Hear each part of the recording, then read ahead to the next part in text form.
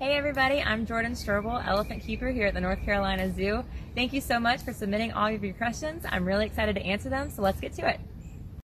I've always really loved animals and I knew I wanted to have a career that involved working with animals and also helping to save them in the wild.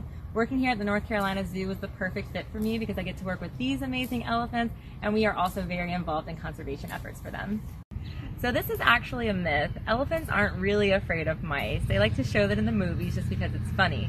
However, they do really like peanuts.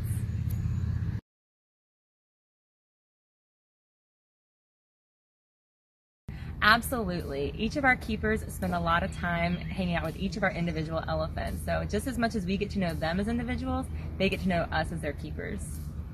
So you'll want to go to college and get a degree in, in natural science or an animal related study. My degree is in biology with a minor in psychology, and you'll want to get some hands-on experience volunteering at your local zoo or an animal shelter.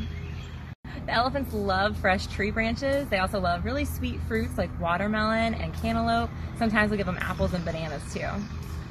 So each of the elephants have very subtle different physical differences that we can see, Mm. such as the shapes of their ears or how tall they are or even the length of their tusks. But they definitely have big personality differences. Some are more laid back and some of them love to run around.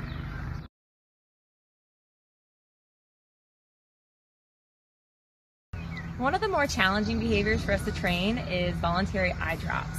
Our natural reaction is to kind of close our eye and squint it if a drop of water goes into our eye. Same thing with the elephant. So it takes a lot of time and patience for us to get them used to an eye drop in their eye. One of the easiest behaviors is getting the elephants to open up their mouth so we can look inside of it. They love it when we throw food right into their mouth, so they're more than willing to throw their trunk up in the air and let us throw some food in there while we're looking at their teeth or even their tongues. So the elephants will come down to our elephant barn for some morning training sessions. We might do some fun behaviors, we might do some medical behaviors, just kind of depends on the day. And then they get to spend the rest of the day out on the habitat with all the other elephants. We spread food all across the habitats for them, so they're walking around all day, they're eating the hay and the grass out there, maybe even some tree branches. On really hot days, you might even see the elephants go for a swim in their pool and then go to our mud wallow and throw lots of mud and dirt all over themselves.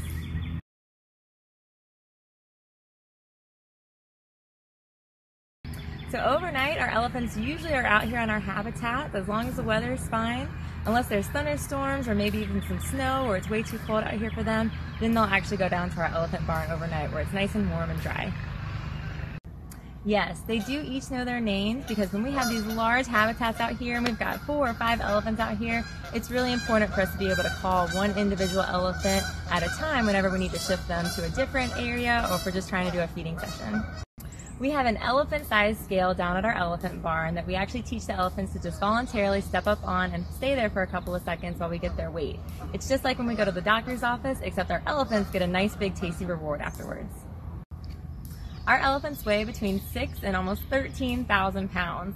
Artie is definitely our largest elephant right now, and throughout the year, he usually is between 12,000 to 13,000 pounds.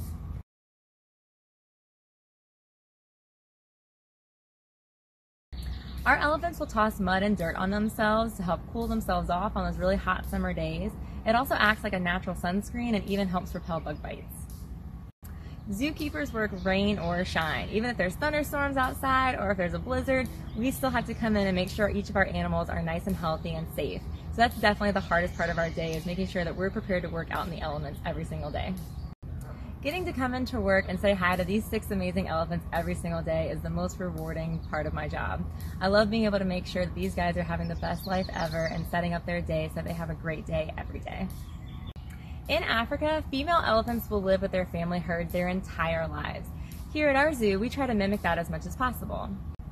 We have four females currently. We have a mother and daughter pair, and then we have two unrelated females. So we've spent a lot of time making sure that each of our females has had the opportunity to bond with each other like family members, very similar to how they would in Africa. The elephants love toys that they can throw around. We've built a lot of different devices made out of fire hose that are nice and soft and pliable for the elephants so they're safe, but also strong enough to withstand the elephant's strength. We have six elephants here at the North Carolina Zoo, two males named Cesar and Artie, and four females, Rafiki, Nakanda, Tonga, and this one right here, our youngest, Batir.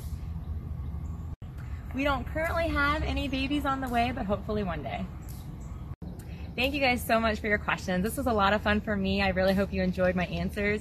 Tune in next week for our next Ask the Expert at the North Carolina Zoo.